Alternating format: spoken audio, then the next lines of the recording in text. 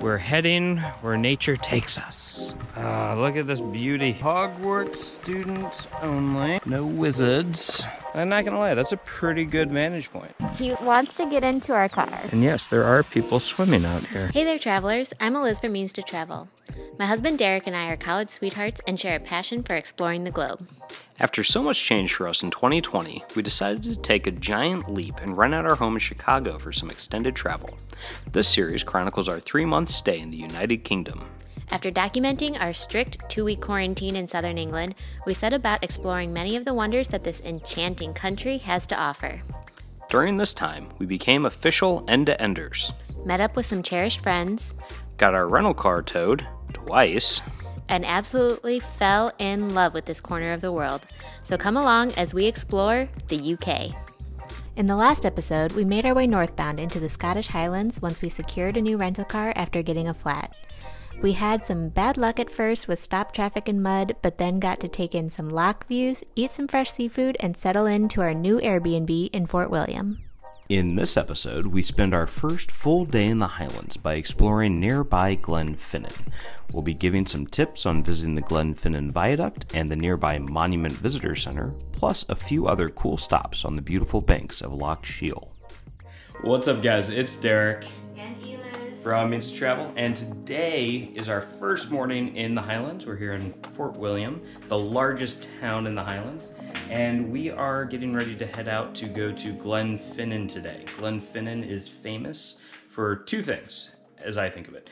First, historically, it is the place where the Jacobite uprising kind of called their forces together for Bonnie Prince Charlie. Which is huge in Scottish history for sure. Yep, and if you watch Outlander, that takes is a central theme of the first season.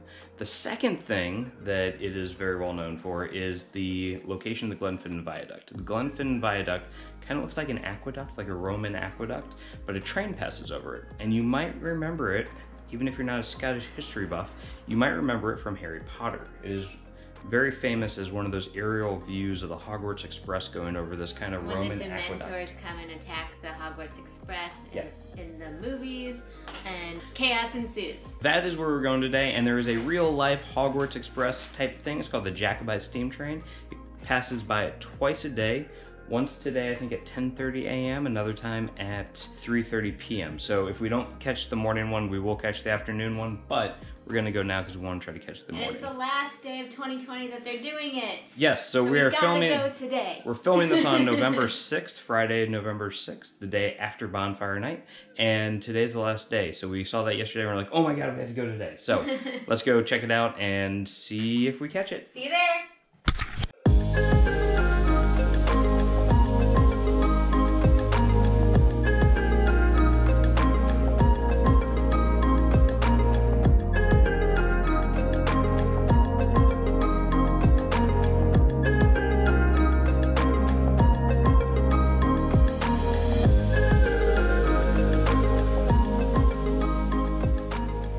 So we have arrived here in Glenfinnan. We've parked over at the National Trust of Scotland parking lot, which we are members of, so it's free parking. Very nice. For us. So we're heading up now. We're gonna walk up to the pathway that takes us up closer to the viaduct. And you go up a little path and you actually have this really nice aerial view, which is gonna be really cool. So for the meantime, it's pretty here. It's so pretty here. It's very autumn. It's very fall. Last time we were here, we stayed down this road a little bit, and it was really nice. And it's on a lock, Loch Shiel. Maybe we'll go there for like tea or something after this. That'd be nice. That would be nice, actually. That would be a great thing to do. I don't know if it's open. Yeah, we'll have to Google that. Let's figure that one out. But in the meantime, hashtag the Wee Harry Potter Bridge Project.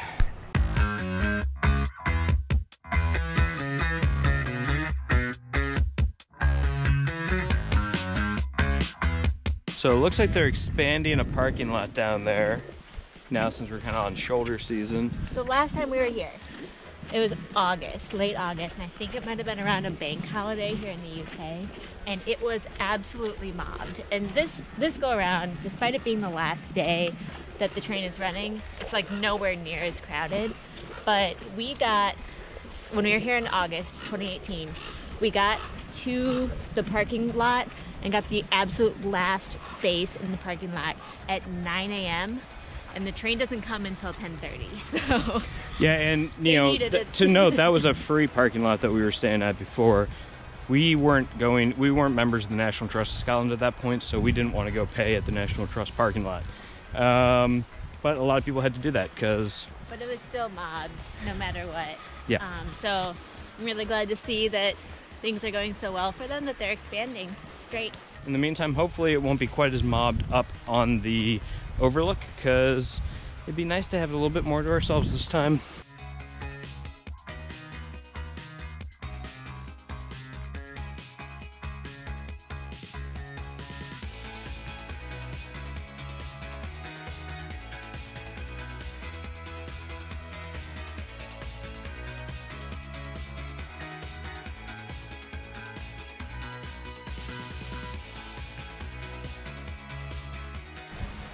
Alright, so Hogwarts students only.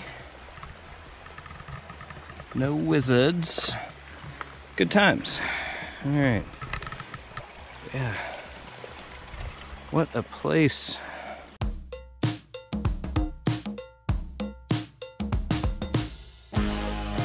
Okay, so Liz is over here setting up to try to get some cool footage. And I'm not gonna lie, that's a pretty good vantage point. But I'm gonna go up here and see what that looks like. See if we should move or maybe even set up from two different locations. Give you guys a few more options to see it from.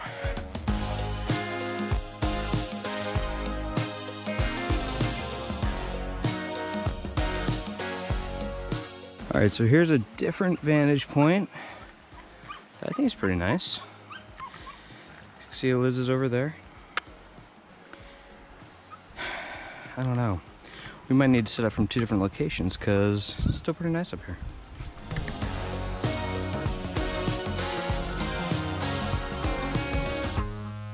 More and more potential viewpoints.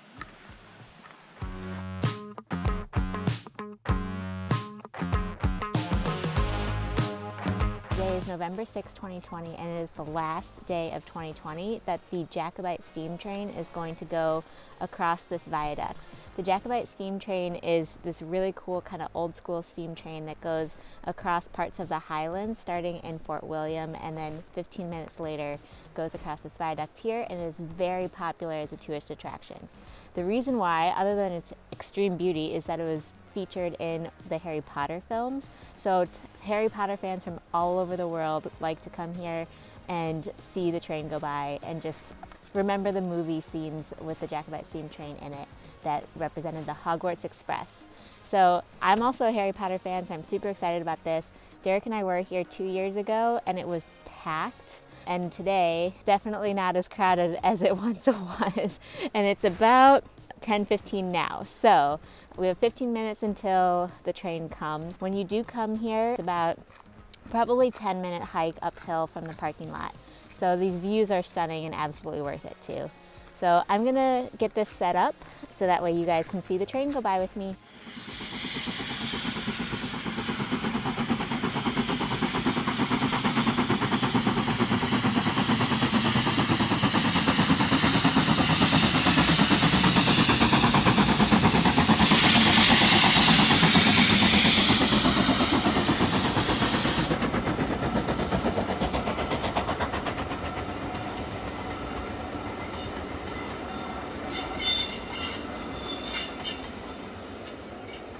So we are the last people standing here today. Everybody else has kind of gone home for the day because the train has come by. Uh, we caught it. It was awesome. It was a lot of fun to see.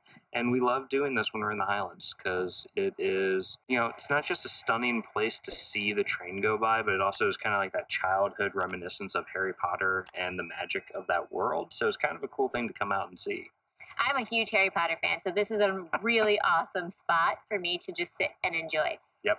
Um, so a couple of things while we're here because we have the time and nobody's here with us, so we can do whatever we want. We can yell. It's great. So what I will say is that a little bit of history for y'all. Um, the viaduct here, which is so beautiful, was built between 1897 and 1901. 1901 is when trains started running on this thing. And every day you get two chances to see the Jacobite steam train run by. One time around 10:30 in the morning, another time somewhere around 3:30 in the afternoon. So if you're coming, definitely plan your trip around those times and make sure you get here early because it can get quite crowded. Yeah. But uh, yeah, so we really enjoyed our time here. We think that this is a must-see location within the Highlands, and but Glenfinnan does not only have the viaduct. There's more to it than that, and one of those things is the Jacobite Memorial, the monument here. So we're actually going to go down now and we're going to go check that out and bring you guys along with us so you guys can see a little bit of Scottish history while we're at it. Let's go. We are continuing our walk down to go check out the monument, the Glenfinnan Monument. But check this out. Whoa! I'm almost falling left and right. Okay. Stop falling. You dropped my phone, you dropped your sunglasses, and you're dropping yourself. I'm dropping myself. I'm, you know, it's so pretty that I just can't help it. I'm dropping everything. No muggles, I guess. That's. Hey guys, we're all about inclusivity here. So muggles are totally allowed, as well as wizards and others. Oh my goodness, we didn't do that. We didn't do that, but that says E and D. Because we don't do graffiti, but you know what? That one says no wizards. No wizards. You know. Hogwarts students only. Am I a Hogwarts student? You're such a Hufflepuff. I'm not even gonna deny it, really. I probably am. Ah, look at this beauty.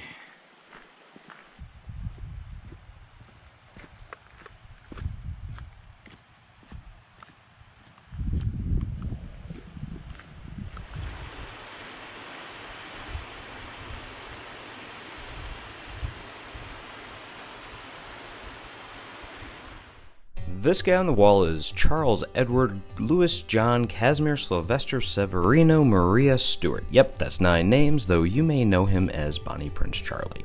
Bonnie Prince Charlie was the son of James Stuart and grandson of James II and VII, the last Catholic king of England, Scotland, and Ireland, who was deposed in the Glorious Revolution of 1688. He was forced into exile by his Protestant daughter and her Dutch husband. Over the next half century, there were various attempts to restore James and his Catholic heirs to the throne, with the final attempt being made by Bonnie Prince Charlie in the Jacobite Rising of 1745. On August 19, 1745, Charles, along with his Scottish supporters, raised the royal banner here in Glenfinnan, along the banks of Loch Shiel, where this monument now stands. Though ultimately unsuccessful, the Jacobite Rising of 1745 had a lasting impact on Scottish culture, severely weakening the already fragile clan structure and leading to a persecution of Scottish heritage and widespread forced transportation to the colonies. This monument and museum tell this story. All right. Going on a little bit of a nature trail. Liz, are you enjoying the nature trail? I don't know where it goes. I don't know where I'm heading. We're heading where nature takes us. Slash this trail. Trail us, yeah. Which is fun. Hey, look, there's passing lanes. Passing place.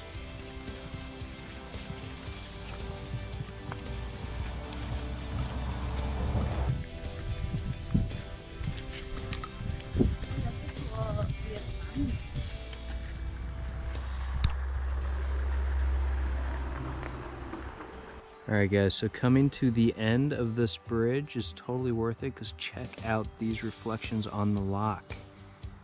Stunning.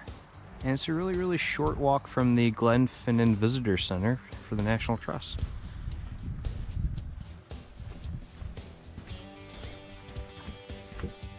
What do you think, babe? Worth it?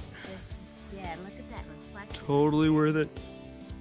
We're on this nature walk in Glenfinnan, Scotland that starts right outside of the visitor center and you walk over into this wetlands area of Loch Shiel once you start going on this boardwalk pathway and over the bridge. Oh my gosh, is it beautiful. And we have it all to ourselves today.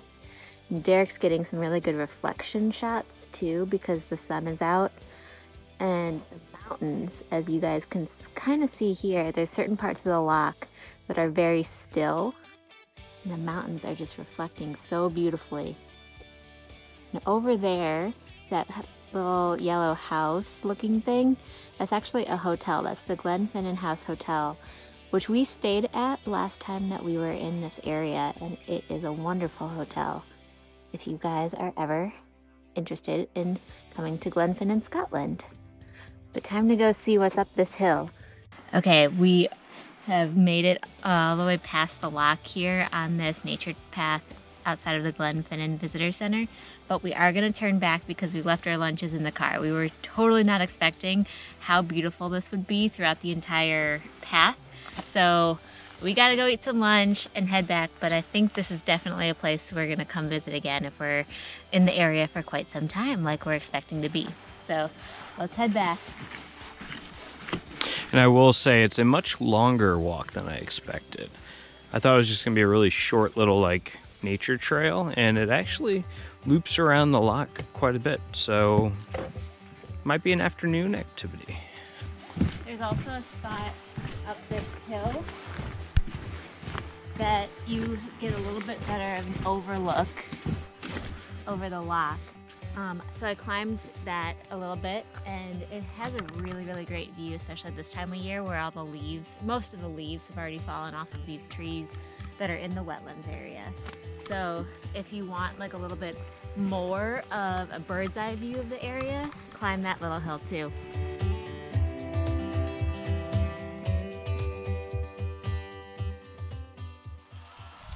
What's up, buddy? Hi. What's up? How are you? Hi. Yeah, you want a pet, don't you? Hi there.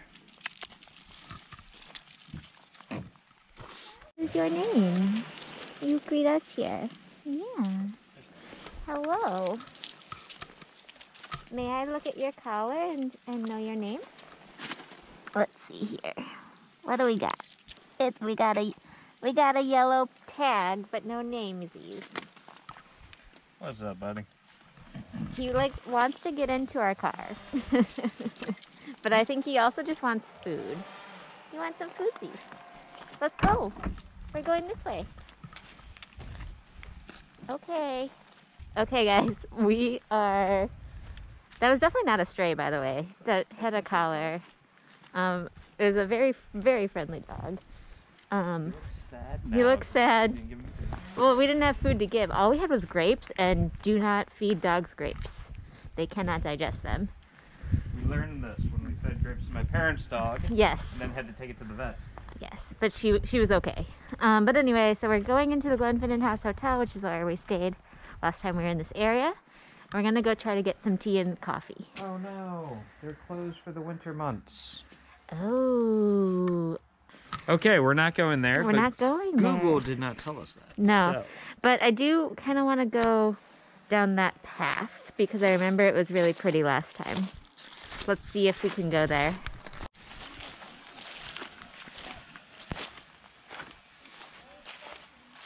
All right, bit of a rocky beach down here. It's pretty cool. And yes, there are people swimming out here in Loch Shiel.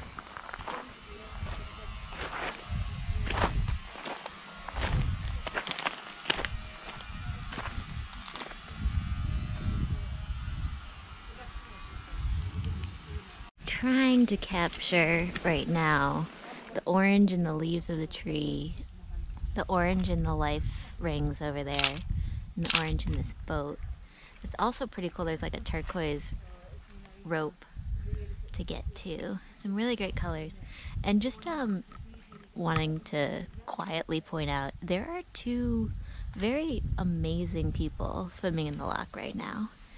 It is not warm out, so I'm very impressed with this and I think it's awesome.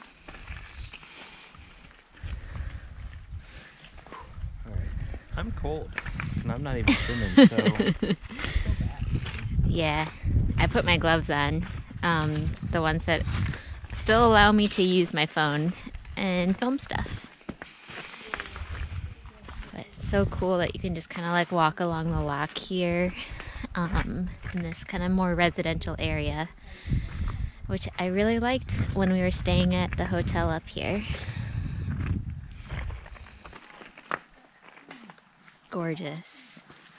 All right, time to head back to Fort William. Let's go. We were thrilled to be able to share Glenfinnan and Loch Shiel with you all today in this vlog. It's easily one of our favorite stops in the Highlands. Leave a comment down below about which stop in Glenfinnan looked the most fun to you. I can't decide personally because they were all so special. If you enjoyed this video and found it helpful, it would mean a lot if you pressed the like button or left a quick comment down below so that YouTube recommends others to watch as well. And if you want to be sure to see more UK travel vlogs in this series or any of the other helpful travel videos on this channel, be sure to hit the subscribe and bell buttons down below. It helps support this channel much more than you know. Thanks so much for watching. Cheers and happy travels. Bye! Hey travelers, don't forget to subscribe and let's hang out more. Here are some links to other helpful travel videos on my channel and press that notification bell so you don't miss any new and awesome travel videos to come.